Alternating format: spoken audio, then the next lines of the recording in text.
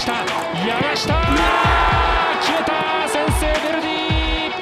入れ前に花と入れ打った決まった前に花と入れ打った決まった前に花と入れ打った決まったベルディ勝ち越し。ベルディ勝ちました。7試合ぶりの勝利。これまでも勝てる試合で勝てなかった試合っていうのが多かったんですけど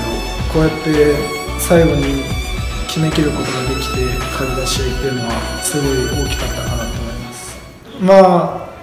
りょうやくんが珍しくいいタイミングで走ってくれたんで自分も出すだけだったです。珍しく本当に自分が切りたいタイミングで入ってきてくれたのでまあ出したら決めてくれるなっていうのはあったんで信じて出しました。戦って自分たちのサッカーして勝つっていうことを目標にやってたんで本当にそれが体現できたいい試合だったなと思います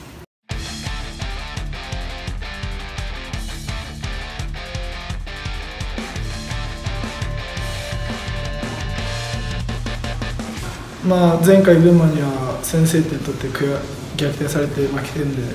まあ、その雪辱を晴らすためにも次は絶対戦って勝ちたいと思います。一回負けた相手にはもう負けられないし